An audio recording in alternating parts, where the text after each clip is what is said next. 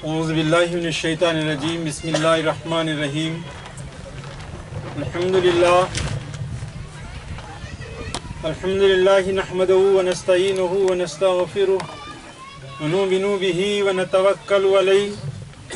نعوذ بالله من شرور أنفسنا ومن سيئات أعمالنا. من يهده الله فلا مضل له ومن يضل فلا هادي له. واشهد ان لا اله الا الله وحده لا شريك له، ونشهد ان سيدنا وسندنا وحبيبنا وشفيخنا وشفينا ومولانا محمد عبده ورسوله. نصدق ونقرر امامنا سيد محمد المهدي الموعود، خليفة الله الودود، صاحب مقام المحمود امر الله، مراد الله، خليفة الله، صلوات الله عليه. اما بعد فقد قال الله تعالى في محكم تنظيم أعوذ بالله من الشيطان الرجيم. بسم الله الرحمن الرحيم. إن أولياء الله لا خوف عليهم ولا هم يحزنون. صدق الله العظيم. وقال رسول الله صلى الله عليه وسلم من كان لله وكان الله له. وقال امام الكائنات مهدي آخر الزمان خليفة الرحمن در ذکر خدای تعالی باقنین تابینہ خدای تعالی حاصل شود. صدر والا مرتبت حضرت پیر و مرشد مولانا مولوی قاری القرآن الحاج سید جعفر میں صاحب اشرفی قبلہ و حضرت مولانا مولوی الحاج سید فتح اللہ میاں صاحب المعروف شاشہ میں محمودی قبلہ میرے برادر عزیز، میاں سید عمران صاحب اشرفی سلمہ ڈیس پر بیٹھے ہوئے حضرات، دور دراز سے آئے ہوئے زائرین، سامعین، حاضرین، ناظرین، تمام تعریف رب الکائنات اللہ عز و جل کے لیے سزاوار ہے، جو تمام جہانوں کا پالنہار و پروردگار ہے، جس نے لفظ کن سے ساری کائنات کو پیدا فرمایا اس کا تخت و عز و جلال ہمیشہ سے آراستہ ہے اور ہمیشہ آراستہ رہنے والا ہے۔ وہ واحد ہے، اس کا کوئی شریک نہیں۔ اور وہی ہے جس نے انسان کو خون کی نازک بون سے پیدا فرمایا۔ اور وہی ہے جس نے انسان کو علم کی زیور سے آراستہ اور پیراستہ کیا۔ وہی ہے جس نے مخلوق کو راہ راست پر ہدایت جو ہے گامزن کیا۔ وہی ہے جو بٹکے ہوئوں کو راستہ دکھاتا ہے، وہی ہے جسے وہ راستہ دکھا دیتا ہے، اسے کوئی گمراہ کر نہیں سکتا، اور جسے وہ گمراہ کر دیتا ہے، اسے کوئی راہ راست پر لا نہیں سکتا۔ وہی رب الکائنات ہے، وہ وعدہ لا شریک ہے۔ اور ہم درود و سلام ہو خاتمین اور سیدین پر، جن کے صدقے اور طفیل سے اللہ تبارک و تعالیٰ نے آج ہم کو اس متبرک اور مبارک سرزمین پر اس متبرک اور مبارک سرزمین پر ہم کو اکٹھا کیا، برادران محترم، رائے باغ کی وہ سرزمین، جس میں میرے آقا امام الکائنات مہدی آخر الزما کا یہاں سے گزر ہوا۔ جب حج بیت اللہ کے لیے میرے آقا نکلے تھے، تو برادران محترم، آپ قومی کتب میں دیکھیں گے کہ میرے سرکار امام الکائنات ولایت معاب مہدی مراد اللہ دائی اللہ خلیفت اللہ، مبین کلام اللہ، اپنے ساتھ اپنے فقرا کو لیے ہوئے، خدا بین لوگوں کو لیے ہوئے، ان اہل اللہ کو لیے ہوئے، ان اللہ والوں کو لیے ہوئے، اس سرزمین سے آپ کا گزر ہوا تھا۔ جہاں میرے سرکار کا جس سرزمین سے گزر ہوا اس سرزمین پر ہمارے آنے کو اللہ نے جو ہے برادران محترم، ہم کو یہ صلاحیت، یہ نعمت عطا فرمائی ہے اس کا احسان عظیم ہے۔ دوسری بات یہ ہے کہ جس کے آستانے پر ہم بیٹھے ہیں، جس کے چھتر چھاؤں میں ہم بیٹھے ہیں، جن کے دربار مقدس کے حاضری جو حاضری کا ہم کو شرف ملا ہے، وہ میرے آقا حضرت امیر السقلین نجیب الطرفین، میرا بندگی میاں، سید اشرف بارہ بنی اسرائیل رضی اللہ تعالیٰ جن کا مقام اور مرتبہ انشاءاللہ العزیز آپ دیگر بزرگان دین سے بھی سنیں گے۔ تو آئیے برادران محترم، یہ ایسے اہل اللہ، یہ ایسے پاکان خدا، یہ ایسے خدا بین خدا کو دیکھنے والے لوگ جو خدا سے اپنی ذات کو، اپنی انا کو، اپنی مستی کو، اپنی تکبری کو، اپنے میپن کو، اپنے نفس کو ختم کر کے اپنی ذات کو خدا کی ذات میں واصل کرا دینے والے، اپنی ذات کو اللہ کی ذات میں ملا دینے والے اپنے آپ کے میپنے کو ختم کر کے نور بن کر نور میں مل جانے والے یہ ایسے اہل اللہ پاکان خدا ہیں جن کے آستانوں پر ہم حاضری دیے ہیں۔ آئیے برادران محترم، ان کی تعریف، ان کی توصیف، ہم کیا کر سکیں گے؟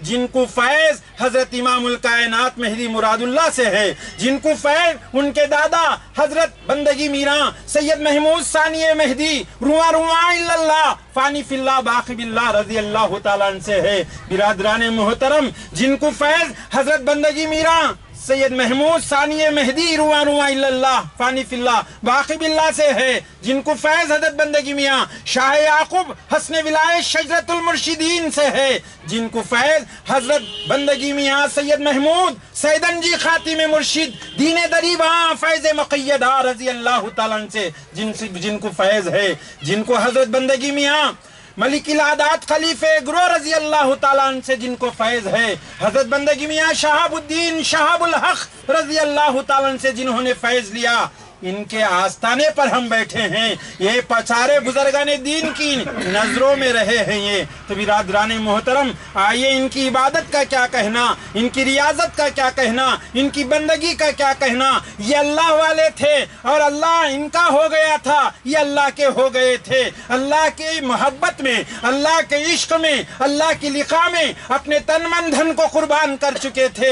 برادران محترم، کبھی وطن سے، کبھی اپنے جو ہے سے کبھی مال و دولت سے کبھی جاو اشمت سے۔ انہوں نے چاہت اور محبت نہیں کی۔ محض اللہ کی محبت دل میں لیے ہوئے۔ دیس بھی اب پردیس ہے اپنا، جنگل اپنا گاؤں رے کوہ یہی میدان، یہی یہی اپنا ٹھاؤں رے فرش زمین ہے بستر اپنا، دھوپ بھی اپنی چھاؤں رے راہ مہدی بہت کٹن ہے، سولی اوپر ٹھاؤں رے یہ مہدی مراد اللہ کی راہ ہے، نکل چکے تھے۔ برادران محترم، مڑ کر دیکھنے والے نہیں تھے۔ کبھی مڑ کر نہیں دیکھا۔ جس وطن سے نکلے، اس اس وطن کو پھر مڑ کر نہیں دیکھا۔ بس نکلتے گئے، پیام حق پہنچاتے ہوئے چلے گئے۔ تو اللہ نے ایسے محبوبین سے کہا، اللہ نے ایسے عاشقین سے کہا کہ اے لوگوں رنج نہ کرو، نہ گھبراؤ، میں تم سے راضی ہوں، تم مجھ سے راضی ہو۔ تم مجھ سے راضی، میں تم سے راضی، اللہ جس سے راضی ہو جائے۔ برادران محترم، کیا اس سے بڑا کوئی اور مرتبہ ہو سکتا ہے؟ اللہ جس سے خوش ہو جائے، اس سے بڑا کوئی مرتبہ ہو سکتا ہے؟ اللہ کے عاشقین ہیں، اللہ کے محبوبین ہیں، اللہ کے رضامند لوگ ہیں۔ تو اللہ ایسے لوگوں کے تعلق سے کہتا ہے، ارے نادانو، تم میری شان میں گستاخی کرتے ہو، غفور الرحیم ہوں، معاف بھی کر دوں۔ لیکن میرے محبوبین کی شان میں گستاخی کو برداشت نہ کروں۔ میرے عاشقین کی شان میں گستاخی کو میں برداشت نہ کروں۔ یہ دربار ہے میرے محبوبین کا۔ یہ میرے عاشقین کا دربار ہے۔ یہاں ادب کی ضرورت ہے۔ سر جھکا کر چلے آؤ۔ سر نوا کر چلے آؤ۔ اکثر آپ نے دیکھا ہوگا، پہلے کے آستانوں میں سامنے کی چوکھٹ چھوٹی رکھی جاتی تھی۔ ہر چوکھٹ آستانوں پر چھوٹی رہا کرتی تھی، جس طرح کہ یہاں امیر السقلین، نجیب الطرفین میران سید اشرف بنی اسرائیل رضی اللہ تعالیٰ کی چوکھٹ، آستانے کی چوکھٹ ہے۔ ہمیشہ یہ چوکھٹ اس طرح کی چوکھٹ رہتی تھی۔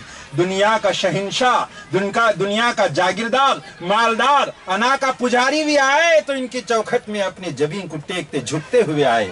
یہ کیا معاملہ ہے؟ کہ انا جھک جائے؟ کیونکہ برادران محترم، انہوں نے دنیا کو دھتکارا۔ دنیا نے ان کے قدموں میں قربان ہونے کی گواہی دے دی۔ دنیا ان کے قربان ان کے دربار میں قربان ہونے کے واسطے تیار ہو گئے۔ آپ دیکھے ہوں گے، بڑے بڑے راجہ مہاراجہ بہت سارے اشخاصوں کو آپ نے دیکھے ہوں گے۔ چراغ بھی نہیں جل رہے ہیں۔ کوئی ان کے آستانوں پر جانا بھی نہیں چاہے گا۔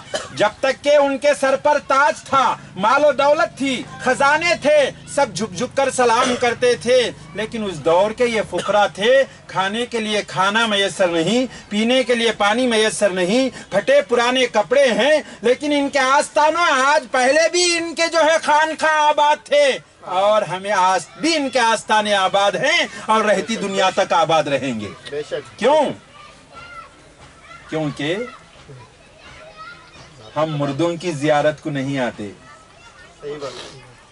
ہم مردوں کی زیارت کو نہیں آتے ہم زندوں کی زیارت کو آتے ہیں، ہم ان زندوں کی زیارت کو آتے ہیں جو ایسے زندے ہیں جو موت سے پہلے جو ہیں مر چکے ہیں۔ موتو قبلہ ان تموتو مرنے سے پہلے مر گئے۔ اپنی جو ہے اللہ تبارک و تعالی، اے دنیا، تو مجھ کو کیا چھوڑے گی؟ اس سے پہلے میں تجھ کو چھوڑتا ہوں۔ اس سے پہلے میں تجھ کو چھوڑتا ہوں۔ دنیا ان کو چھوڑنے سے پہلے، اس سے پہلے دنیا کو تیاگ کیا، عیش و آرام کو قربان کیا، تخت و تاج کو قربان کیا سب کچھ چھوڑا رب کا دامن پکڑا رب نے کہا تم اس سے راضی میں تجھ سے راضی۔ جب تک میرا نام اور لوگ تیرا نام بھی وسیلے کے طور پر استعمال کرتے رہیں گے۔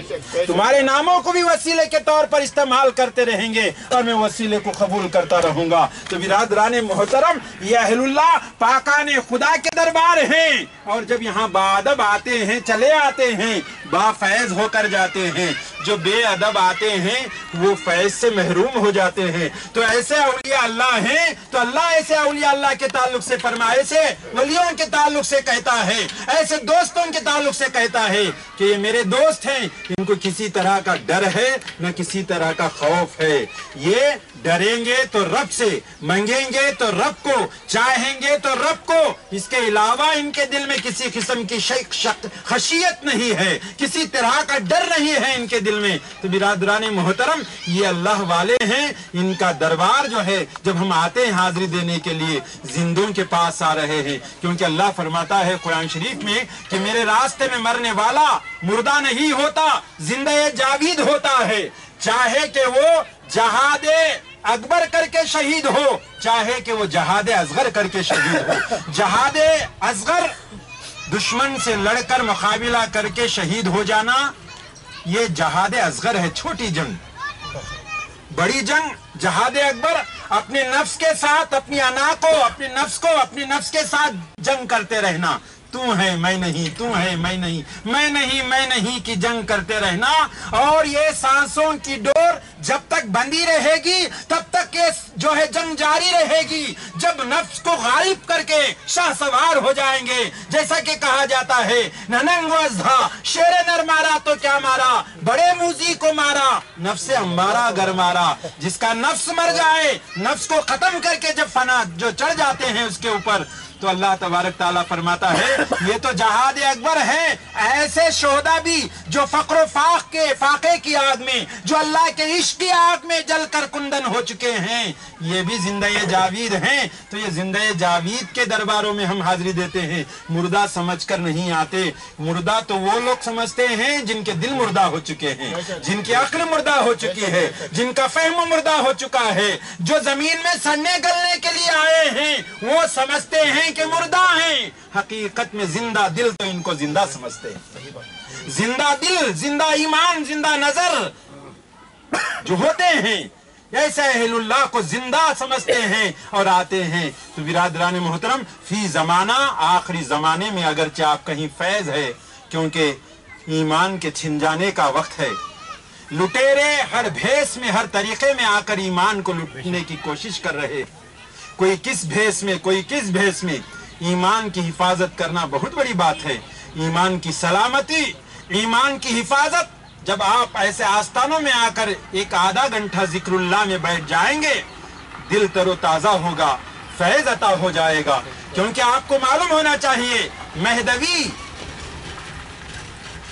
اصل آج آپ دیکھ رہے ہیں۔ ہر طرف منافقت، ہر طرف چینی گوئیاں، ہر طرف برائی، ہر طرف بد اعتقادی۔ بزرگان دین، پاکان خدا، اہل اللہ کی شان میں گستاخی، یہ تمام چیزوں کو آپ سن رہے ہیں۔ اس لیے یہ کہاوت ہے، مہدوی در گور، مہدوی در کتاب۔ مہدوی در گور، مہدویت در کتاب۔ مہدویت کتابوں میں رہ گئی۔ مہدوی خبروں میں رہ گئے فیض چاہتے ہو تو یہاں آؤ۔ فیض چاہتے ہو۔ دربار اولیاء اللہ میں آؤ، اللہ تبارک و تعالی ایمان کی جلا عطا فرمائے گا۔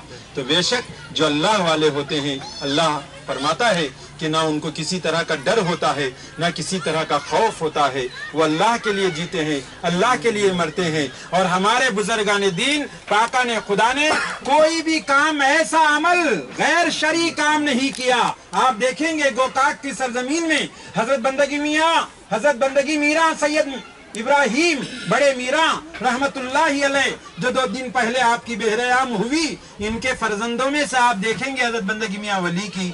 ایسی شخصیت تھی، ایسی شخصیت تھی کہ ایسے اہل اللہ تھے۔ فقر و فاقے کا عالم تھا۔ شہر گجرات میں دائرہ، شہر بیجاپور میں دائرہ تھا۔ فقر و فاقے کا عالم ہے۔ کھانے کے لیے کھانا میسر نہیں۔ کہیں سے کچھ دودھ آ گیا، اللہ دیا بول کر کھٹورے میں۔ بی بی کے حوالے کیا بی بی سے کہا بی بی کئی دن کا فاقہ ہے آپ پر بھی اور مجھ پر بھی۔ یہ جاؤ، دودھ اللہ کی طرف سے بے شان و گمان آیا ہے۔ اس کو گرم کر کے لاؤ۔ بیوی دودھ گرم کرنے کے لیے چولہے کے پاس گئے۔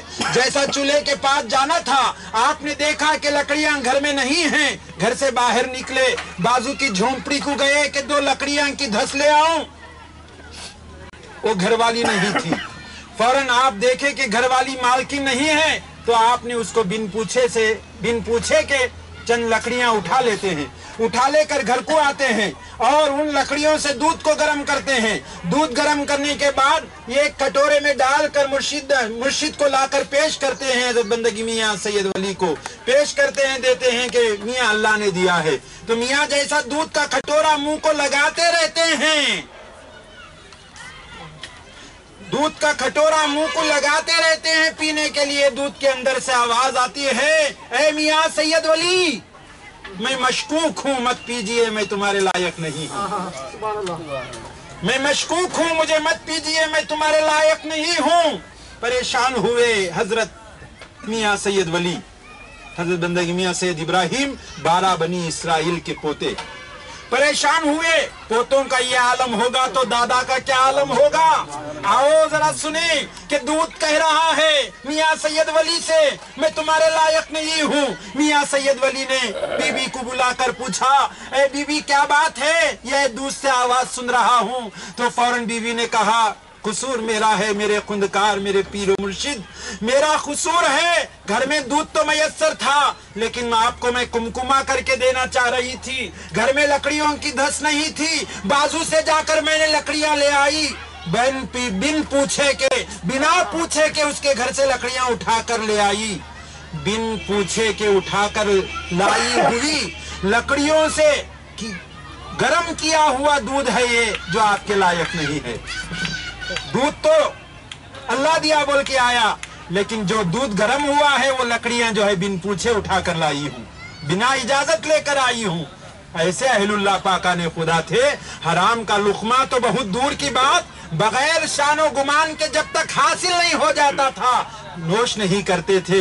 برادران محترم، ایسے اہل اللہ پاکا نے خدا ہیں۔ یہ ایک ایک چیز بھی جو ہمارے پاس موجود ہے۔ برادران محترم، ہمارے بزرگان دین نے جو رائج کی ہے، شریعت مصطفی سے ہٹی ہوئی نہیں ہے۔ آپ دیکھیں گے، یہ دربار امیر السقلین نجیب الطرفین، میاں سید اشرف بارہ بنی اسرائیل کا ہے۔ والد محترم کے وصال کے وقت میں آپ موجود نہیں تھے۔